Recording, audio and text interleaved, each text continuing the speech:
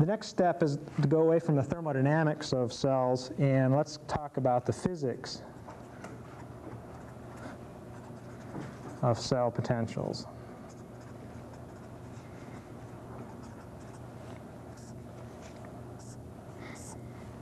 Okay. Whenever we have a, a, given phase, a given conducting phase, we can think about that phase as being isolated by itself, sitting in a vacuum. And we can ask ourselves, what's the potential of that phase? Where, what, how can we think about the, poten the potential of that phase? Well, the definition of a, that potential of that phase is as follows the potential will be given a symbol, phi, and that's often called the inner potential.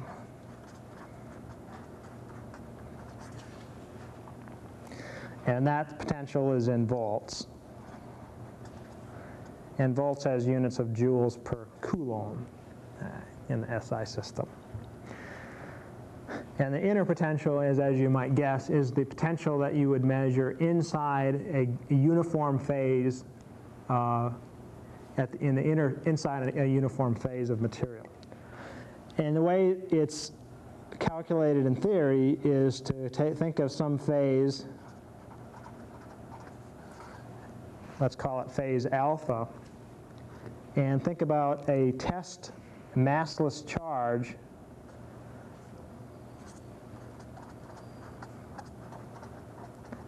starting from infinity and bringing that test charge into the inside of our, our phase and calculating the work required to move that test charge from infinity into the phase. And so at the limit uh, from as the test charge approaches zero in charge, it's the work versus charge, and that's going to be our inner potential of species of phase alpha. And according to electrostatics theory, it really doesn't matter about the path that charge takes. It's a, the, uh, it can take any particular path as long as it gets to the inside of our phase. Now, it's, it's really not possible to measure the inner potential in this way. First of all, we don't have massless test charges that we can calculate the work required to bring them into, inside our phase. It's also impossible to completely isolate a piece of matter and to do that thing. There's always some interfering potential fields that will cause the inner potential to be not what we think it is. Um, so that might be an electrostatic effect, or we might have a, redox effect to think about with our interface. But we can, in principle, think about a, a conductor having a, an inner potential. The other thing we know about the inner potential, so for any uniform phase that has a, composition that's uniform, and, uh, and it's not, and it's solid, or it's, it's one mass, it doesn't have any voids or anything in it. We, what do we, else do we know about it? Well, we know that if we think about the phase the potential, say, here, or here, or here, that those three inner potentials have to be the same.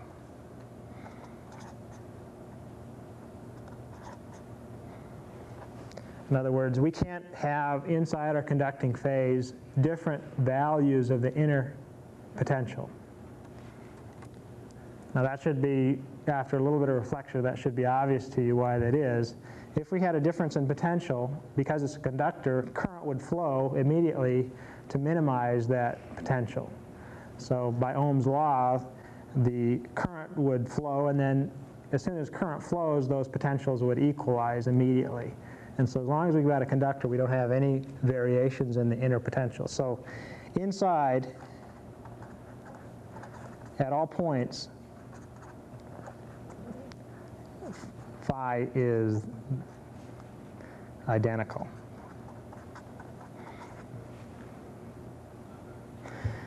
The other thing about the inner potential is that it suggests that, according to uh, uh, what theory first proposed by a guy named Gauss, that the charge that provides the inner potential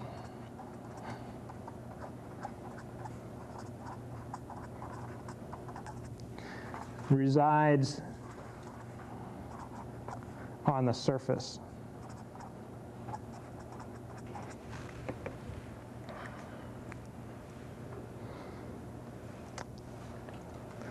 How, do we know that? Well, let's think about our little phase again.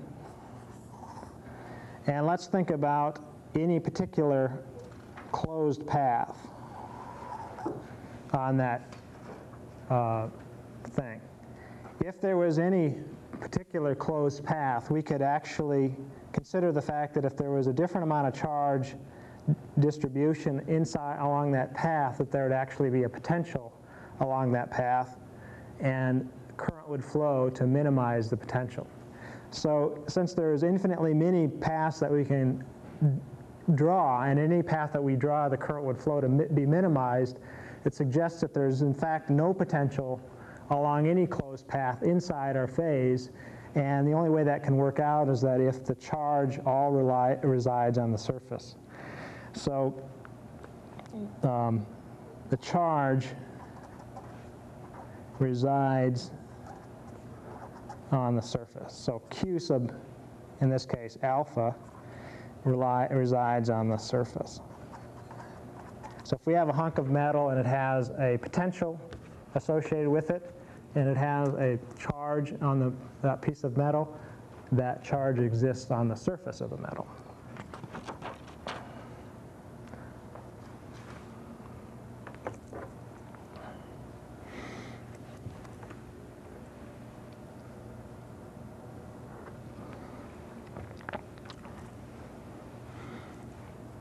I see.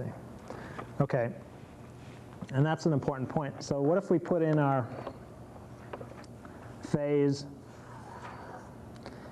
alpha with its charge in the, on the, on the uh, surface. There's an, an, an, analogy to this in, um, in a, another physics field of, of, gravitation. If you take any spherical solid body, the gravitational field inside would be zero. Somewhat similar to the, to the um, idea of, a, of this charge being existing on the surface.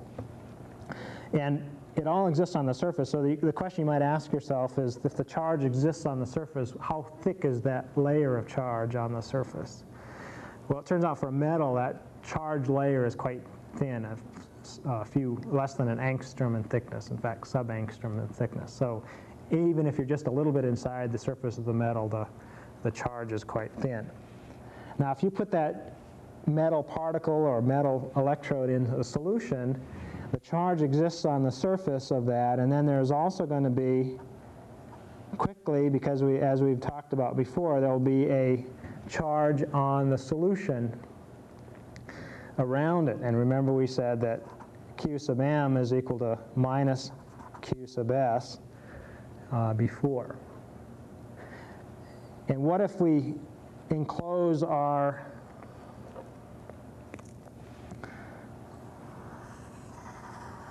our uh, metal and a solution and a volume of solution just around the metal with our path again. Well, again, because of the requirements that for any conducting phase have a zero uh, net charge inside it, we're going to have expect that any path that we draw around it enclosing that metal particle in the solution just around it also has zero. And so in order for that to be true, we have to have this be true. Q sub m is equal to minus Q sub s. And what about the surface of our solution? Well, our entire uh, solute now is going to have a charge of Q sub m on it because at some point the charge will exist on the surface of our solvent and that will be minus Q sub m. Now for a metal electrode, the charge on the metal electrode can cause it to have a high potential, but if that's existing in a fairly large uh, bit of solution, the charge in the solution can be less because that charge can be spread out over, uh, uh, uh, the voltage and the potential of the solution can be less because it'll spread out over a large area.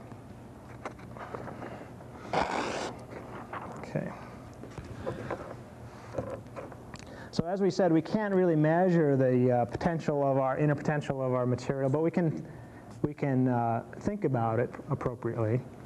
And so that's unmeasurable. What's also unmeasurable are systems like this. For example, suppose we have a metal in contact with solution. And so we can think about the potential of the zinc and the potential of the solution. It turns out that we can't measure the difference between the zinc and the solution. We can't measure that potential difference. Why is that? Because as soon as we tried to measure that potential, we'd have to put our probe to measure that potential difference somewhere else. So in other words, we would have to say measure versus the zinc wire, and then to, to measure the solution potential, we'd have to put in another interface of some, some metal. And so that also, that interface is also unmeasurable. So we can't measure that in, in, uh, by itself. So in general, any difference in two phases, the absolute difference in two phases, say alpha and beta, is unmeasurable.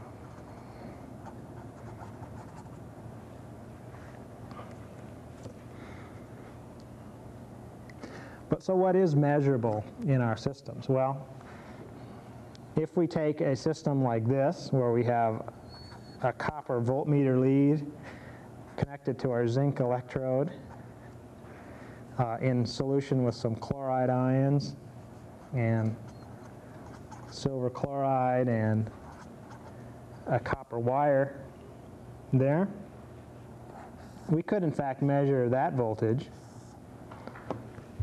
in the system. So that would be an inter we could we could uh, we could think about measuring that potential. Now that doesn't give us uh, the interfacial potential. In fact, it doesn't give us that potential. In fact, there's a large number of um, interfacial potentials that we can consider in this particular case. What we've measured in this case is this potential difference, the difference between the copper one copper on one side and the copper prime on the other side.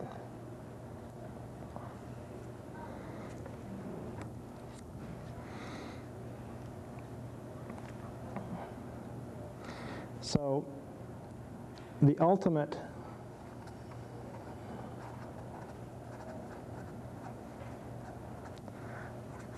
source of the potential is the presence of excess charge, okay, and that excess charge is at the interface.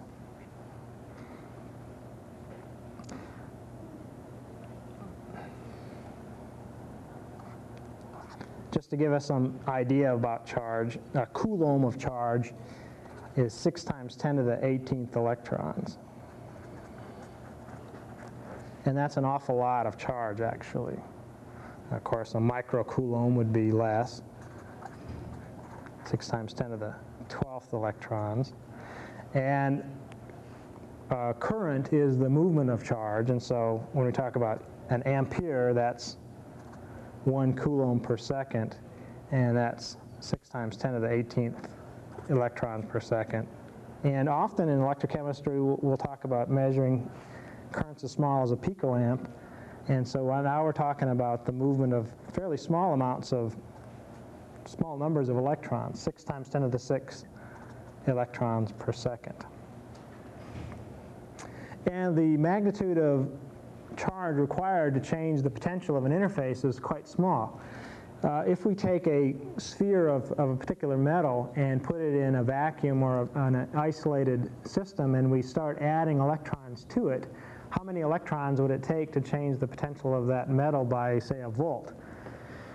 Well, suppose we put a, uh, a mercury sphere, 0.5 millimeters in diameter in vacuum. It actually requires um, about 5 times 10 to the minus 14th coulombs to raise the potential by 1 volt. And that number of coulombs happens to be about 30,000 electrons. So just a fraction of a second of a picoamp level of current will change that potential of that isolated sphere by uh, one volt. And so you can see it doesn't take very many electrons whatsoever to do that particular job.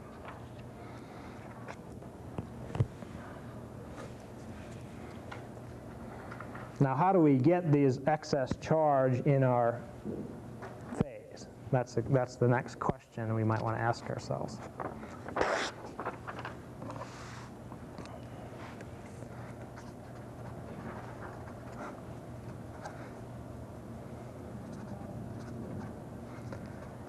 We could probably better, better to say it on a phase rather than in a phase. Uh, first of all, we can think about um, charges that arise due to the electronic properties of the material. For example, semiconductors, particularly like say silicon that's doped with uh, materials like gallium or uh, arsenic, will have an excess number of electrons or holes depending on the uh, what's it's doped with. So you can think of in the lattice of silicon, you can put in a, um, say, a arsenic to replace the silicon, and of course there's a lattice of all those other silicons associated with it. And that adds basically a little bit of a positive charge in that system. So here we have a, a charge that's built into the semiconductor system. And so that charge, being free to move around, now is um, is, uh, makes it a conductor and that system would be charged. The second idea, we can have ions at the interface.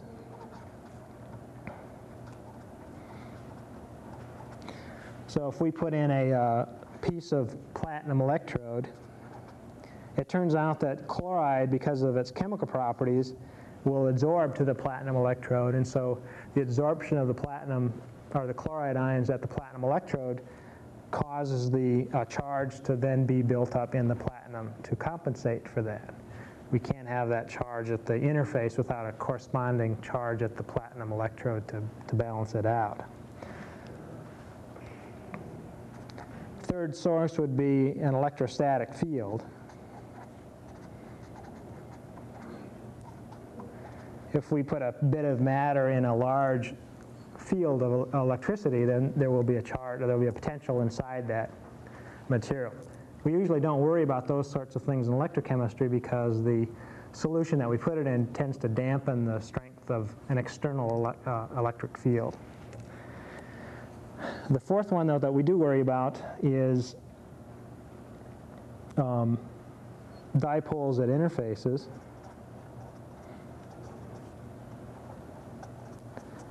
And here's a system where we can have a charge buildup that is really due to a fractional amount of charge from interfacial species.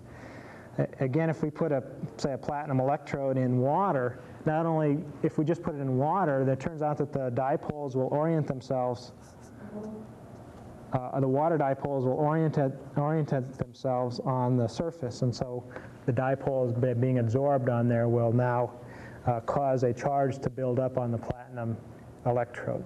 And this would be the case for almost any type of electrode. You'd have this ion adsorption, or if there's no ions like chlorine in solution, you can also have dipole adsorption and both at the same time, in fact.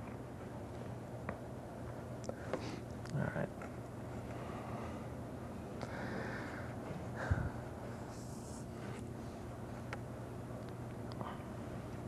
Okay.